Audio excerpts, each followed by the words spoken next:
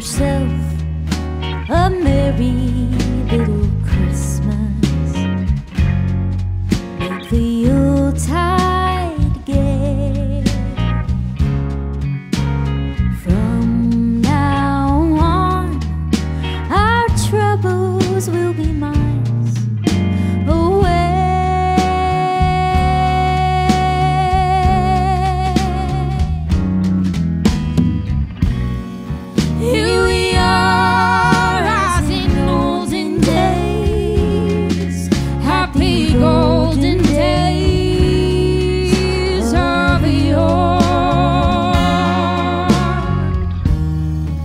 Faithful friends who are